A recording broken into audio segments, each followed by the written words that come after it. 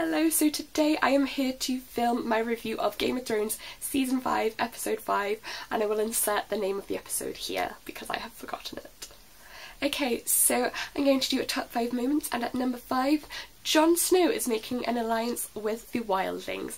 I have been waiting this for this to happen for a very long time because I feel like the White Walkers are a common enemy and they could not possibly defeat them separated and I think it's really great that what Jon Snow is trying to do. It's just too bad that Stannis killed Mance Rayder because he was the one person that could have achieved this so let's hope Jon Snow and that ginger dude have the power.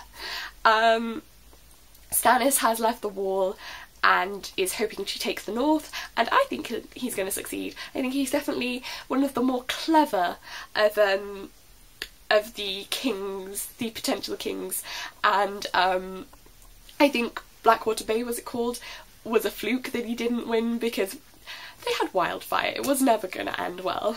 But yes, I think that it's great that Stannis sees the White Walkers as a problem, and he's definitely going to see them as a threat to Winterfell when he takes it.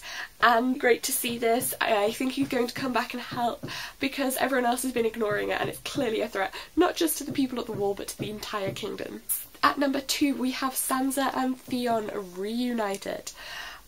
A weird part of me is shipping them and I can't really explain it. I suppose Sansa, as we know from her marriage with Tyrion, isn't really in the mood for sexy times, and we know that Theon doesn't really have the materials, shall we say, to do that.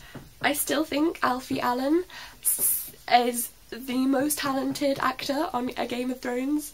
Uh, it was weird to see Sansa and Theon at the same time because after Theon became Reek, he seemed so separated from everything else. It seemed like a whole storyline itself. And it's so weird when things cross paths like this because we imagine them as like TV shows on their own, each like character's story.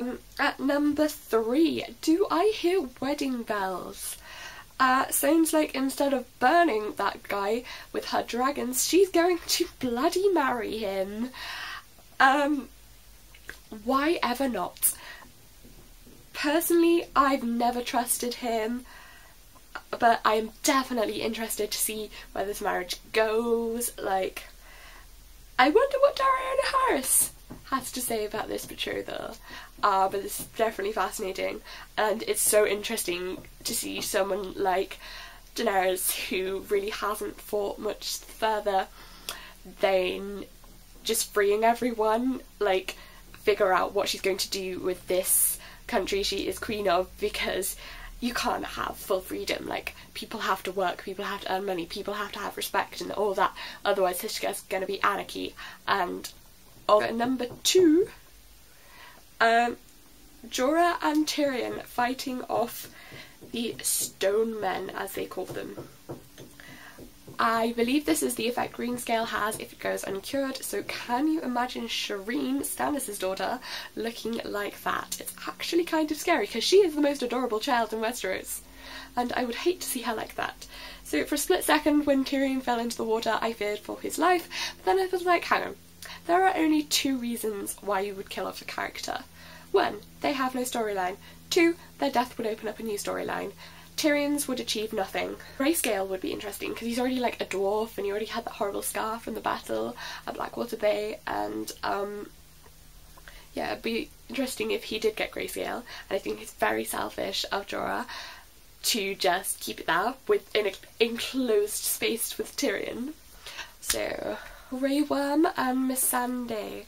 Uh, I said in my last video that none of my Game of Thrones ships ever become canon, and then this goes and bloody happens. It's like they've been answering my prayers. The Game of Thrones gods, the Seven, or the Lord of Light, or the Old Gods. And anyway, they have been answering my prayer, and Missandei and Grey Worm snogged.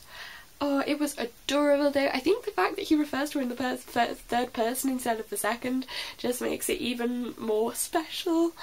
And um, it was just so magical to see someone that I have, a pair that I've been shipping for so long, actually, you know, have a result.